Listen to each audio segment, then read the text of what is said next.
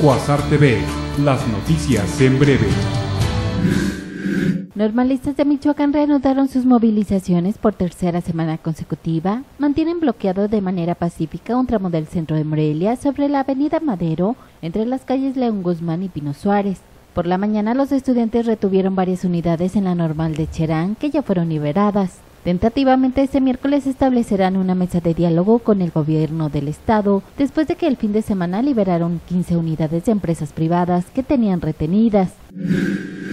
A ocho días de iniciado el paro indefinido de labores convocado por la CENTE en escuelas de Michoacán, el 20% de los planteles educativos están paralizados, informó a conocer Cuitláhuac Contreras, subsecretario de Educación Básica en el Estado dijo que el paro de labores llegó a su máxima expresión del 29% el viernes a consecuencia de los hechos violentos que se registraron en la zona de Tierra Caliente, cuando los maestros de la región decidieron suspender clases en 200 escuelas.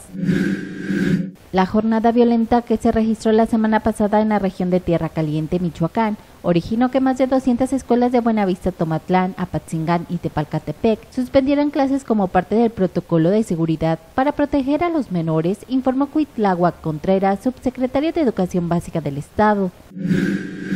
Todo está en calma en la región de Tierra Caliente, Michoacán, informó el comisario regional de la Policía Federal, Teófilo Gutiérrez, tras los enfrentamientos que se registraron entre grupos armados rivales el pasado fin de semana en la zona, que dejaron un saldo de 10 muertos y 7 heridos.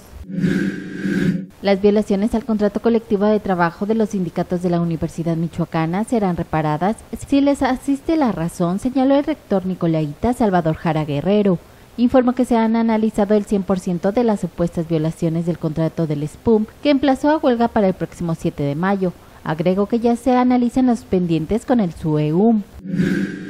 La Universidad Michoacana de San Nicolás de Hidalgo incrementará en un 100% su presupuesto para investigaciones científicas, así lo dio a conocer el rector Salvador Jara Guerrero. Desde el 2004 la máxima casa de estudios recibía 17 millones de pesos y ahora por las gestiones realizadas ante la federación podrían recibir hasta 36 millones de pesos.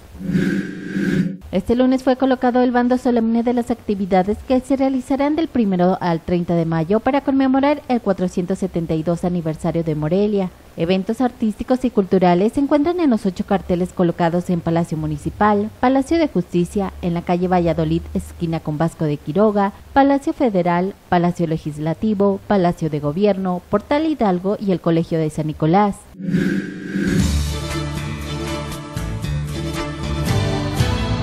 Cuasar TV, las noticias en breve.